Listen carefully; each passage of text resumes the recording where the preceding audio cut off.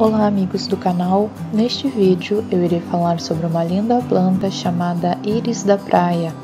Mas antes eu quero falar com você que ainda não é inscrito no nosso canal. Inscreva-se e ative o sininho para receber nossas notificações de vídeos. Todos os dias tem vídeo novo no nosso canal. Bom, esta planta é conhecida de forma popular como Íris da Praia ou Íris caminhante, mas o seu nome científico eu vou deixar aqui abaixo no vídeo. Esta linda planta pode chegar a uma altura de até um metro e ela é uma planta nativa do Brasil e seu ciclo de vida é perene. Um detalhe sobre esta planta é que a sua flor é muito parecida com as de uma orquídea.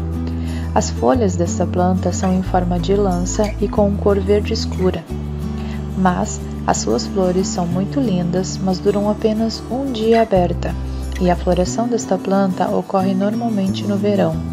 Qual o melhor clima para a planta íris da praia? Esta planta gosta de um clima quente, úmido e com bastante luz solar. Essa planta aceita o cultivo em sol pleno e meia sombra. Eu recomendo o cultivo em sol pleno de média intensidade. Esta plantinha gosta de luminosidade, ou seja, para crescer com qualidade, ela precisa de muita luz solar, mas até mesmo a luz solar indireta ajuda bastante no cultivo e floração desta planta. O sol extremo do verão pode prejudicar um pouco esta planta, mas o sol ameno da manhã e da tardinha são de grande ajuda para sua floração. Se o cultivo for dentro de casa, mantenha a planta perto de janelas com luz. A temperatura ideal para cultivar a planta íris da praia é entre 19 graus e 31 graus, mas tolera muito bem temperaturas mais elevadas e não suporta o frio intenso, ou seja, Evite expor esta planta a geadas intensas e frio extremo. Esta plantinha se desenvolve em locais litorâneos, ou seja, além de calor, esta planta gosta de um local com boa circulação de ar. Qual o melhor substrato para a planta íris da praia?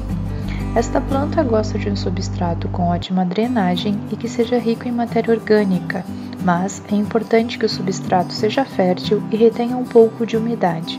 Esta plantinha aceita o cultivo no vaso ou diretamente no solo. Eu recomendo o cultivo diretamente no solo. Caso você queira cultivar em um vaso, o substrato que eu recomendo é terra vegetal, humus de minhoca e areia grossa. Mas o vaso deve ser de tamanho médio e de preferência de plástico. E não esqueça de colocar uma manta no fundo do vaso antes de colocar o substrato. Mas, caso o cultivo seja no solo, esse solo deve ser fértil, rico em matéria orgânica e com boa drenagem. E, para melhorar a qualidade do solo, use farinha de osso a cada três meses. Mas a farinha de osso você pode usar tanto no solo quanto no vaso. Apenas use quantidades menores no vaso para não prejudicar a sua íris da praia. Como regar essa planta? A planta íris da praia precisa estar com o substrato ou solo constantemente úmido ou seja, é uma planta dependente de umidade e água, mas mesmo gostando de água, evite o encharcamento do solo ou substrato. Eu recomendo que você regue quando o substrato começar a secar, mas não deixe que o mesmo seque completamente. Isso pode ser fatal para sua linda íris da praia.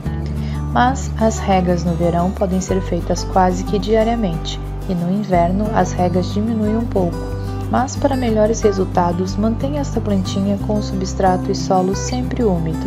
Se você gostou deste vídeo, deixe seu like e compartilhe com os seus amigos. E se você gostou do nosso canal, inscreva-se e ative o sininho